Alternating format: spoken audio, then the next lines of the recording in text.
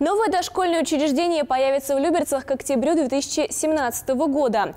Детский сад в поселке Калинина сможет принять 180 малышей.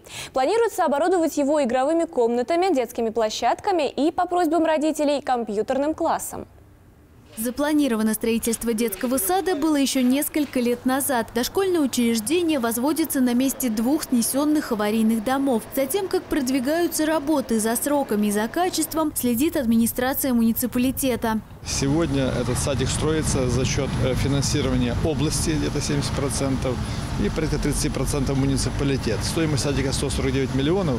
Э, вообще любое строительство – это не дешевое удовольствие. На территории нового детского сада обустроят три площадки для детей ясельного возраста, семь для старшего, две хозяйственные и одну спортивную. Кроме того, в здании предусмотрены тренажерные гимнастические залы, комната психологической разгрузки и зимний сад. В том числе будет компьютерный класс. В принципе, э, это такое нововведение, когда мы строим детский садик, и это планируем. Завершить строительство дошкольного учреждения планируют в октябре этого года. По проекту детский садик сможет принять 180 малышей. Яна Яковлева, Дмитрий Шарапов, телеканал ЛРТ.